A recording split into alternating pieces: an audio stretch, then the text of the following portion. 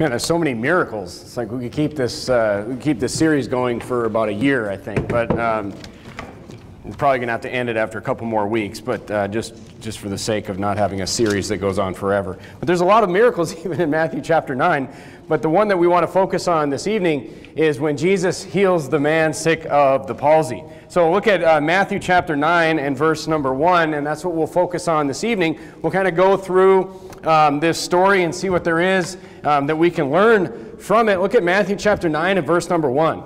The Bible says, And he entered into a ship and passed over and came into his own city. And behold, they brought to him a man sick of the palsy, lying on a bed. And Jesus, seeing their face, said unto the sick of the palsy, Son, be of good cheer, thy sins be forgiven thee. So, first of all, sick of the palsy. Palsy, this is like some physical ailment where he can't, you know, it's, uh, it's like a, usually typically um, a, a, paralysis of some kind. Okay, um, that's what that means. Um, when you see that word in the Bible, um, and Jesus says, you know, seeing their faith, he said, Son, be of good cheer, thy sins be forgiven thee. Now, this is a story that is in three of the Gospels. It's also in Mark chapter 2 and also in Luke chapter 5, but there's a little more to the story here. Go to Mark chapter 2. Mark chapter 2, and let's look at um, another angle of uh, this story. So here he sees um, this man, and he says, Son, be of good cheer, thy sins be forgiven thee. But there's a little more to the story. And that's the nice thing about the stories that are kind of repeated in the other Gospels is you can kind of see a different angle, and many times um, different details are filled in um, in other um, Gospels, in other accounts of the same situation. Look at Mark chapter 2, and the story is found in verse number 1. Look at verse number 1. The Bible says, And he entered into Capernaum after some days, and it was noised that he was in the house. You know, people heard of it. And straightway, that means right away, many were gathered together, insomuch that there was no room to receive them, no, not so much as about the door, and he preached the word unto them. And they came unto him, bringing one sick of the palsy, which was borne of four. And when they could not come in nigh for unto him for the press, that means uh, there's just people everywhere. They couldn't get in, they couldn't reach him. They uncovered the roof where he was and when they had broken it up, they let down the bed wherein the sick of the palsy lay. When Jesus saw, and then we see this again, when Jesus saw their faith, he said unto the sick of the palsy, Son, thy sins be forgiven thee. So these guys, we see this, this angle in uh, Mark chapter 2 where these guys, they couldn't reach Jesus.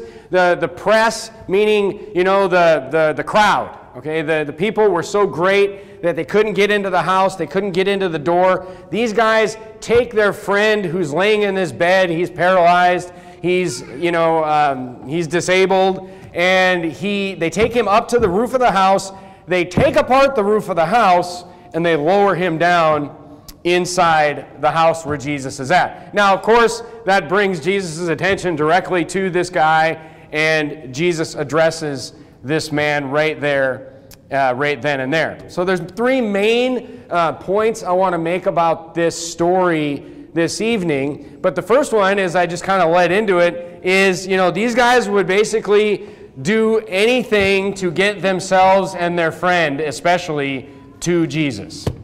That's the first thing. You know, so, um, you know, what would you do to get to Jesus? Turn to Matthew chapter 18. Matthew chapter 18. Go to Matthew chapter 18 and look at verse number 20. The Bible says, the Bible says, where two or three are gathered in my name, therefore I am in the midst of them. You know, this verse is talking about, I mean, this is the famous Matthew 18, how to handle conflicts, but Matthew 18, chapter 20, is actually talking about um, the context of the church itself and about bringing somebody in front of the church. And then Jesus talks about that gathering. You know, he's like, I'm in the midst of you. Did you know that when you're in church, that Jesus is in the midst of us here? So, this church, of course, the head of this, it would make sense that Jesus was here, that he was present with us, since he's in charge of this place. It would make sense since it's, it's him that decides whether or not we keep our candlestick or not. I mean, it makes sense that he's here. So you, you say, well, Jesus isn't in, you know, the hot. Well, Jesus is in this house. Jesus is in this house. What would you do to get to him? So you should be in this house every chance you get. These guys literally went to the, the lengths of dismantling the house to make sure they could get to Jesus. Okay? Second of all, second point, why was his sin forgiven? Jesus said that this man's sin was forgiven. In Matthew chapter 9, we see a reason. In Mark chapter 2 and in Luke chapter 5, Jesus actually gives the reason that this man had his sins forgiven. Jesus didn't say because you lowered him through the roof, because you guys showed up. Jesus said in Matthew chapter 9, it says, seeing their faith, it says. In Mark chapter 2, it says, when Jesus saw their faith. And in Luke chapter 5, verse 17, you don't have to turn there, it says, He saw their faith. Look, it's interesting that many of the stories that are repeated in the Gospels I mean, this is super interesting because many of the stories that are repeated in the Gospels will have additional information that the other story doesn't have. And then when you take them all together, you can kind of get many people that have brought up actual Bible contradictions, by the way. This is the problem. They don't read all the accounts of the story in the Gospels. There's many Bible contradictions, like, you know, the, the demon possessed man in the, in the wilderness, that, you know, people say, oh, there's a Bible contradiction here. But if you read all the accounts of the situation, there's no contradiction. But what's interesting is while the different accounts typically have different details that give us a complete story, this particular detail is in every single account of the story. What detail? That Jesus saw their faith and then said what he said about his, you know, his sins being forgiven. He said his sins were forgiven because he saw their faith. Putting it all together, you get the complete story in the gospel, but it's interesting that the faith point is in every single, almost like it's key to the story. And it, and it is. We obviously know that. The second thing I want to bring up, or the third thing I want to bring up, is, is which of these guys, sin, of this guy's sin were forgiven. I mean, Jesus said, Your sins are forgiven you. Which sins is he talking about? Which sins is he talking about? His past sins, the sins that he committed that day, the sins that he was going to commit tomorrow. Which sins was, was he talking about? There's this strange Catholic doctrine out there that, you know, and look, it's not just even Catholic. So when I'm, I'm going to be kind of hard on the Catholic, on the Catholic religion tonight. But let me just say this. It's not, it's not just Catholic, because many Protestants are very much Catholic when it comes down to what they actually believe. And the strange doctrine is this, is this doctrine of continual confession for salvation. Yeah. Meaning, I need to continually confess my sins, or I'm not going to go to heaven. This is what they believe. This is why, by the way, this is why, by the way, Catholics believe, and Lutherans believe, and many other Protestants believe that if this is exactly why and, it, and I'll, I'll, give you the logic behind it. I believe this uh, much of my life. This is why they believe that someone who commits suicide cannot go to heaven. This doctrine right here. Why? You say, why suicide? It, it's not because the sin is, is extra bad or anything like that. It's because, what, you know, once you've committed suicide, how are you going to confess that? That's literally why it is. If you've ever wondered, why, why suicide? Look, Catholics, Lutherans, all these people believe that even murder can be forgiven. And even murder will not commit, you know, stop you from going to heaven. But if you kill yourself, you can never confess that sin because you're dead. So that's why they believe that if you kill yourself, you're immediately going to hell. Right there. It's a deal breaker. You can't confess that one. Look, everyone, every Protestant, every Catholic, should reject this doctrine. It is not logical even on the very surface. It's not logical. Look, even if it were true, let's say let's pretend, pretend for a moment that, it, that this, this idea that I have to continually confess my sins, like I wipe the slate clean, so I go to church every Sunday, and let's say that I can confess all my sins. I'm going to give them that benefit of the doubt too. Let's say it's possible to go to church every Sunday, once a week, and confess all my sins. And let's say that it's possible that I don't forget one, but most of them put in like a statement like, even the ones that I don't remember right now, or something like that. Let's say I can confess all my sins, and let's say I'm also sincere about that. So let's say that there's no sins where I'm chanting my confession that is the same confession that I've chanted. It's the same vain repetition that I've chanted every single Sunday for my entire life, and I'm sincere about it every single time. I'm sincere about it. I literally think about the sins that I committed in the last week, and I'm sincere, and I say, I'm never going to do those sins again, God. And there's none of those sins where I'm like, yeah, I probably think I'm probably going to do this one again. I mean, because really, when your child comes to you, and if your child came to you and he said, Yeah, you know, Dad, I'm sorry for taking the cookie out of the cookie jar, and then he does it five minutes later, and then he asks, you know, he says he's sorry for the hundredth time, are you really going to start thinking that he's still sorry for taking the cookie? Or is he just doing it out of just obligation to not get in trouble? But let's just say that you could be sincere and you meant it every single time, even though you chanted that vain repetition your entire life every single Sunday you're still not going to heaven. I, mean, how long, how long, unless, unless you confess that sin and you, you chant that vain repetition that you're completely sincere about, and then you get hit by lightning like five seconds later, you're toast. Otherwise, because what happens when you, you commit another sin? What, ha- what happens when you have a foolish thought 12 minutes later before church is even over? You've just sinned again. Now you have to wait till next Sunday to like get your salvation back. Look, it is. I, I, I never understood it. I was always confused about it, which, you know, thank God that I was always confused about it and I was looking for something else. It's like there's got to be a better way. It's like buying a, think of it this way it's like buying a, a super expensive plane ticket. You buy a, a super expensive plane ticket and then, you know, you're like, you're like, where are we going? Where's this plane ticket? It's like, oh, it's, it's a ticket to paradise. It's the best place in the world. It's the best place ever. You pay all this money for this ticket, and then you go and you just sit in the airplane on the runway, and you notice like that the airplane has no engines. And you're like, there's no way that this airplane could get me anywhere, much less the best place on earth. But then people come around and they're just like selling you peanuts, and you know, you're paying all this money while you're on the plane and it just makes no sense because there's no way that plane can get you there. There's no way, folks. Catholics, Lutherans, Protestants, Methodists, whatever, there's no way this doctrine could ever get you to heaven, even if it was true. But it's not true. It's not true. Look, the only way 1 John 1 9, confession of your sins, even fits in the logical world that we live in is if it's just about our relationship with the Lord, not salvation. That's the only way it fits.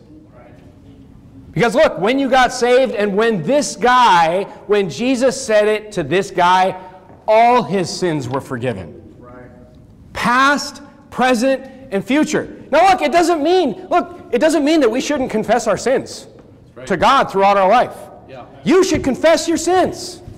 You should confess your sins every time you have the thought that, you know what, I've done wrong. You should confess your sins daily in your prayer life. You're like, I don't have a prayer life daily. Well, there you go. But look, it, it, once, once your sins are forgiven as far as your salvation, it's a done deal, folks. It's done. Let's go back to the story. Look at Matthew chapter 9 and look at verse number 3. There's some more interesting things that happen in this story. Let's continue reading. Matthew chapter 9, look at verse number 3. The Bible says, And behold, certain of the scribes said within themselves, This man blasphemeth. Because basically he said, Your sins are forgiven. And they're like, How can he say that? Which is interesting, by the way, that even the, I'll get to this later, but even the false prophets of the day knew that somebody saying, like some man saying that he forgives your sins, they even knew that was blasphemy. Isn't that interesting? These people weren't saved. These, these Jewish leaders and all this, they weren't saved. They didn't believe in Jesus. Look at verse 4. And Jesus, knowing their thoughts, said, Wherefore think ye evil in your hearts? For whether is it easier to say, Thy sins be forgiven thee, or to say, Arise and walk? But that ye may know that the Son of Man hath power on earth to forgive sins, then he saith to the sick of the palsy, Arise, Take up thy bed and go unto thine house. And he arose and departed to his house. But when the multitude saw it, they marveled and glorified God, which had given such power unto men. Turn to Mark chapter 2. Let's look at it in Mark chapter 2. Mark chapter 2. I want to read this account in Mark chapter 2 to get the full details of everything, and then I want to explain to you two super important things that have happened in this story mm, as we continued reading. Mark chapter 2, look at verse number 6. Again, but there were certain of the scribes sitting there and reasoning in their hearts. They weren't speaking this out loud. They were just sitting there, they were thinking it. They were thinking it. Why did this man speak blasphemies? Who can forgive sins but God only? And immediately, when Jesus perceived in his spirit that they so reasoned within themselves, he said unto them, Why reason ye these things in your hearts? Whether is it easier to say to the sick of the palsy, Thy sins be forgiven thee, or to say, Arise and take up thy bed and walk? But that ye may know that the Son of Man hath power on earth to forgive sins. That's really interesting right there. Because now he's telling them why he's about to do the physical miracle. The point of him doing the physical miracle is so they believe the spiritual one, or to prove at least the spiritual one, is to prove what they were questioning in their hearts. What they were, you know what they were questioning in their hearts? They were questioning, you know, whether or not he had the right to say that. What they were really questioning was the fact that he was God. That's what they were questioning. Because they said, look, only God can forgive sins. And Jesus says, just to prove to you that I can forgive sins, watch this. Look at verse number 11. And of course, then he heals him, and I say unto thee, Arise and take up thy bed, and go thy way into thine house. And immediately he arose, took up the bed, went forth before, before them all insomuch more that they were all amazed and glorified God, saying, We never saw it on this fashion. So, two super important things have happened here. Basically, Jesus proves that he is God twice, right here. Amen. He proves, first of all, he proves that he's God by telling them their thoughts. They were sitting there thinking something. Turn back to John chapter 4. Do you remember this story? They were sitting there thinking something, and he basically walks up to them and says, Why are you thinking this? How many times have you had that happen in your life? Like, never. Right? This was enough. Look, this one fact enough was enough to get the woman at the well to say this. Look at John chapter 4 and look at verse number 29. She said to the crowd, she said to the city, she said, Come see a man which told me all the things that I ever did. Is this not the Christ? That's the one reason that she told the people in the city, Look, this man, this man came up to me and he just told me everything about my life. It's exactly what Jesus did to the scribes here. Now, look, I mean, I used to love like, you know, as a kid, and I mean, I have to confess, I still do like like sleight of hand stuff and all these kind of things. And, and you know, like one of the, the big the big magician, like when I was a kid, was David Copperfield. Is he alive still? I don't even know. But the thing is, like, they would do all these things to make people think that they were magical. You know, they would do all these things to make people think that they had like magical powers. And one of the big ones was like they would you know, they would have somebody pick a card or pick an object or pick something, and then they would tell them like what the object was or what they chose. But look, these things are all tricks. These things are all tricks. You know, they're all tricks that are easily explained by, you know, he had a plant in the, in the audience. So if I just like called on Brother David, and this was an audience of people that I didn't know, and I called on Brother David, and nobody knew that I knew him. We're working together. And I was like, think of a number between 1 and 15 or whatever, and I just tell him, then, you know, I can do that again because he's working with me. It's all these tricks, and you know, now I'm sure they have all kinds of wireless devices where they can communicate things, but they're tricks. They're tricks. I mean, there's like there's there's all sorts of trickery that these guys use to, you know, make themselves look like they're magic. That's the whole idea, right? But look, do you think that if somebody was really could tell the future, that they would be like on some, you know, talent show or something? they would be like, you know. But anyway, the point is, it's all it's all trickery in these cases. Jesus, I mean, just think. I mean, he's reading their minds, literally. He's like the only real clairvoyant, basically. He's reading these guys' mind. And, and so, look, if somebody ever comes up to you and just tells you all the thoughts that you're thinking, you know, that's something supernatural. If that's real and it really happened. So look, he proved that he was God there. That was the first time. Look at verse number 9. And then, Jesus, he does it again. He proves that he's God twice. Look at verse number 9, where he says, For is it easier to say, Thy sins be forgiven thee, or to say, Arise and walk? Mark 2 9, I'll just read for you. It says, Whether it is easier to say to the sick of the palsy, Thy sins be forgiven thee, or to say, Arise and take up thy bed and walk. So look, he says to them, He says to them, It's easy to just say, Your sins are forgiven you. You know, I could do that. You know, I could start my own religion and I could just have a bunch of people come and join my religion, and I could just have people come up here and I could put my hands on them and just be like, you know, your sins are forgiven you, and all this stuff. And I could just say that. And you know what? It's sad, but a lot of people would probably believe it. You know, or I could have like a booth, and I could have all the people in the church, you know, and I could be like, look, if you don't give like enough money, you know, you can't come in my booth. What happens in the booth? Well, you confess your sins to me, and then I forgive you of your sins, and then you can go to heaven. You want to go to heaven? Give money. I, you say, that's crazy. Well, hello? It's like the biggest church in the United States. Did you know? I mean, that's the Catholic priest right there. Look, I'm not being, look, I love the Catholic. Don't get me wrong. I love the Catholic, but look, this religion is, is wicked as hell. That's right. Amen.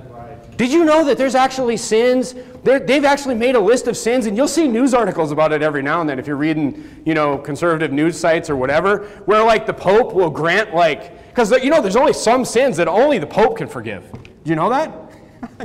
I mean, you can't even make this stuff up.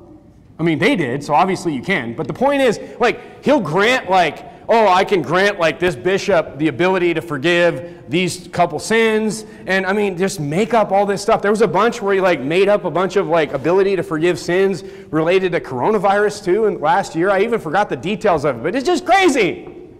It's crazy. And look, it's, it's insane. And look, the Catholic priest is a perfect example of what Jesus is talking about here. It's almost like he was like predicting what men would do.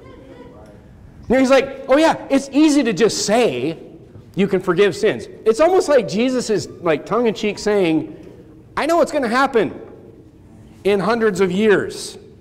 You know, because that's exactly what men are doing. They're using that power over people to forgive sins. But, but he, hey, Catholic priest, I want to see you heal somebody. I want to see you take somebody who's, you know, disabled or paralyzed, and I want, you, I want to see you get, raise them up to walk. Look, on the contrary, you constantly hear about stories of like some Catholic priest killing somebody. They're trying to ex- exorcise a demon from them. Yeah. But I mean, can Satan cast out Satan? No. No. No. I mean, look, the Catholic priest is working for Satan.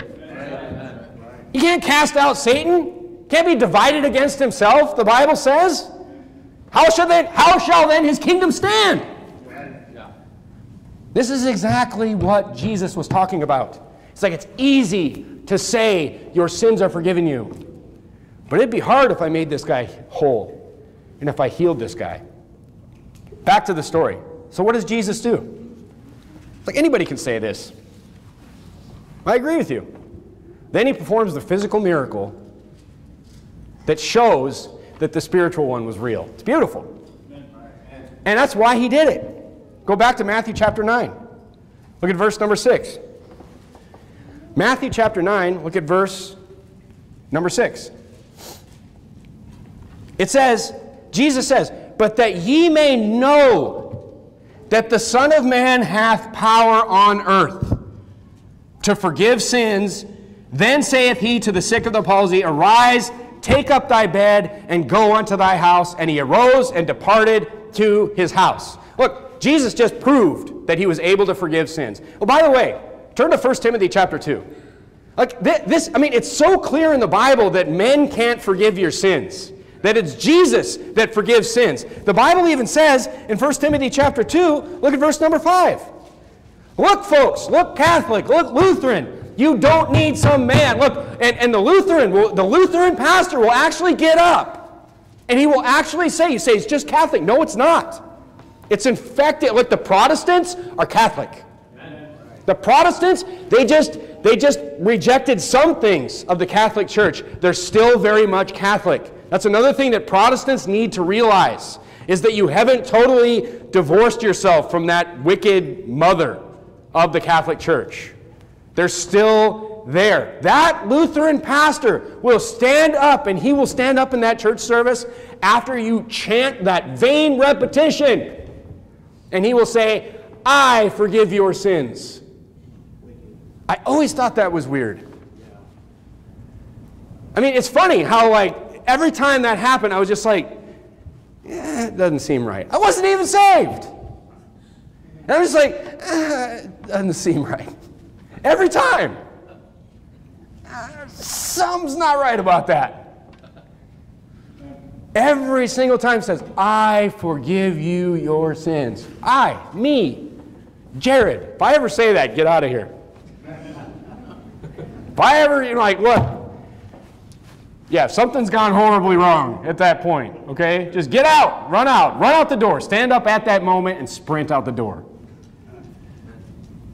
Look at, uh, where, where are you at? 1 Timothy chapter 2 and verse number 5. For there is one God and one mediator between God and, man, and men, the man Christ Jesus. Look, you don't need anybody else. God already sent, look, it's, a, it's an insult to Christ. It's an insult to Christ because God sent a mediator. God sent somebody to be the bridge for us. And we have access directly to him. His name is Jesus Christ. You don't need anything else. So look, he healed he healed this man physically so that they would know that he is God or they would have a chance. Because what were they thinking in their hearts? They're thinking only God can forgive sins. And he's like, Yeah, I know only men can say sins are forgiven. But he's like, I am God. Get up and walk. And the guy gets up and walks. He basically just proved that he was God. Look, you better believe that there was people that knew he was God after this. Just because the scribes and Pharisees, look, they never got it. And there's points in the Gospels that it says that Jesus, he's like, he didn't even want them to get it anymore. Turn to Acts chapter 10. So that he would, they would know that he is God. I mean, look, it's a great proof of the overall gospel, too, this, this miracle. It's a great proof of the overall gospel that only through faith can you achieve that saving forgiveness from Jesus Christ? Look at Acts chapter 10. Acts chapter 10, look at verse 43. Acts chapter 10 and verse number 43. To him give all the prophets witness. It's like everybody throughout the whole entire. What was the point of the New Testament? What's the point of the New Testament? Yeah, there's lots of practical stories. There's lots of practical lessons that we talk about every single week, week in, week out. You know, we study through the books uh, of the Bible, the Old Testament and the New Testament, and there's tons of lessons that we can learn to apply to our physical lives. But really, the main point of the Old Testament was to point to Jesus Christ. And that's why there's so many there's so many stories in there. It's all about pointing look, it was all the prophets gave witness to Jesus. That's what it says in Acts 10:43. That through his name whosoever believeth in him shall receive remission of sins. Look, it's through the name of Jesus Christ and it's by believing. It's that faith. When he saw their faith, that's when he forgave their, his, their sins. It's the same with me and you. It's the same with anybody that through believing through Jesus. It's look, and here's another thing. Here's another weird doctrine that we see out there today. Do you see, do you see that? Look, just circle that in your Bible. Acts 10:43. It's through Jesus' name. It's through Jesus' name, and whosoever believeth has the remission of sins. There's this weird doctrine out there, and, and I think it, it must have remnants of the Catholic Church and Protestant churches, and it just shows you how twisted up people get. But there's this weird doctrine. It's not even about just asking for forgiveness. How many people have you met out soul winning where are you going to go to heaven? Well, yeah, you know, you just got to pray and ask God to forgive you. Well, what if you forget to do that and you don't ask for forgiveness? Well, you just ask God to forgive you. And, you know, look, it's not even about, salvation is not even about asking for forgiveness. You're like, oh, what? No, it's not. It's about believing in His name. It's not about asking for forgiveness. You go and not believe on the Lord Jesus Christ, and then you ask God to forgive you all day long, and you tell me where that gets you. That's going to get you straight to hell. Because God's not going to forgive you of anything. It's about His name and believing on it. I mean, it's a strange doctrine out there. And then, and then that doctrine, it's gotten even more liberal that people just think if I just ask God to forgive me, who's God? I don't know. Well, God, eh, everybody worships the same God. I don't know, man. You know, I just ask God. God's going to forgive me. Then there's this, this weird doctrine. It, its liberal cousin is that God will just forgive me anyway. I don't even have to ask. because you'll ask that you'll ask that person that thinks, you know, oh, you know, I just have to ask God to forgive me. Okay, so that's the Catholic doctrine. That's the Protestant doctrine. You don't even have to go to church to do it now. You just have to ask God, which okay, that's closer. But that person, that's that person, if you say to that person, you say, What if you don't ask for forgiveness? What if you miss one?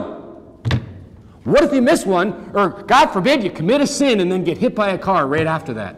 They'll say, Well, I think God's going to forgive me anyway. So it turns into this, it's this weird, I have to confess my sins for salvation, which is an airplane with no engines.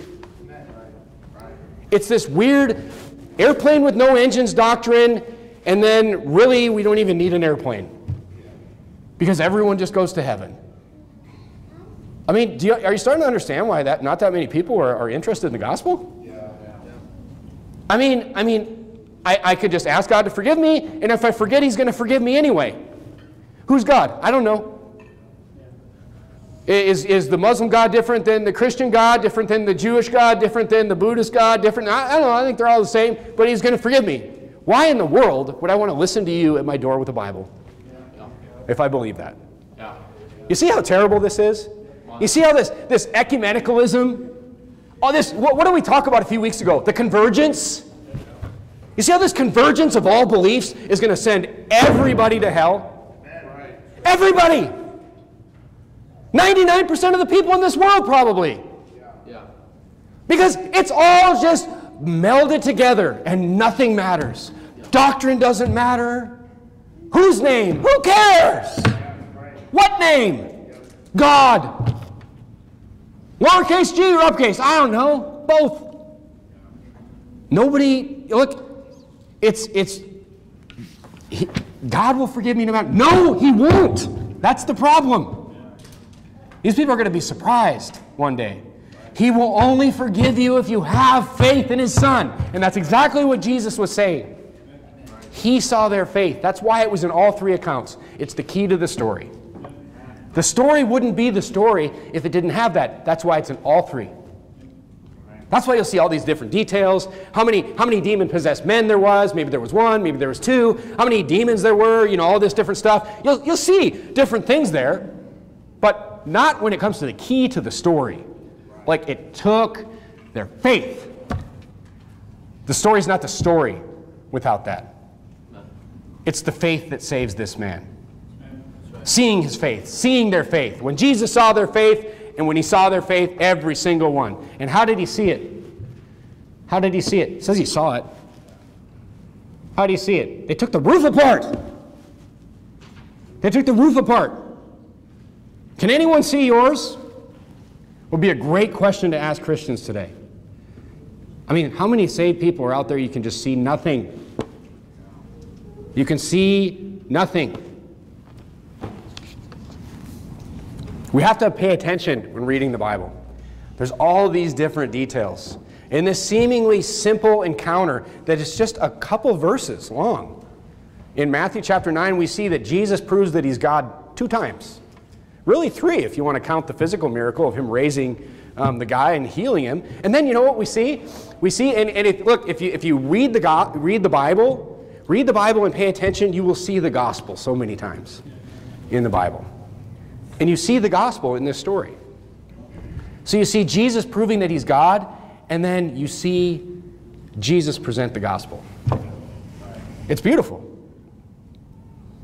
We see that the people that Jesus was with and Jesus was walking amongst, they were waiting for a Messiah. The woman at the well, look, the woman at the well, she told Jesus about the Messiah before Jesus even said that I am the Messiah.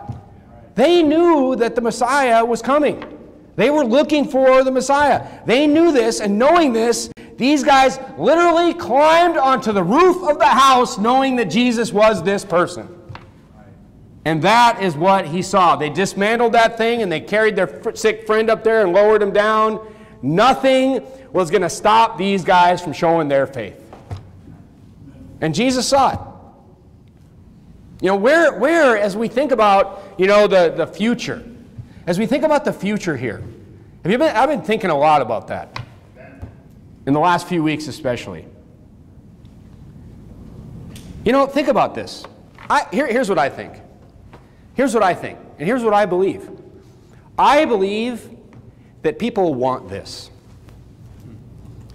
I believe that people are searching for an answer.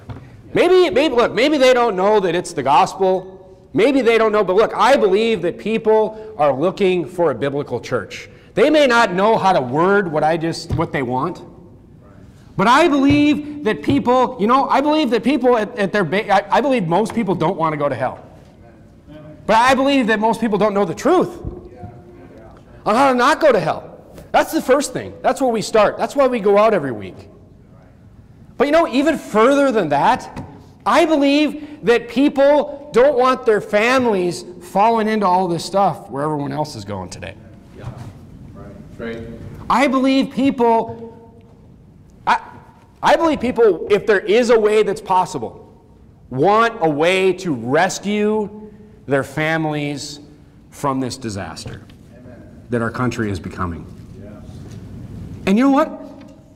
I mean, this should make you zealous because you know what? We have that answer. The Bible has that answer. I mean, we're all trying to look, we're all trying to raise kids.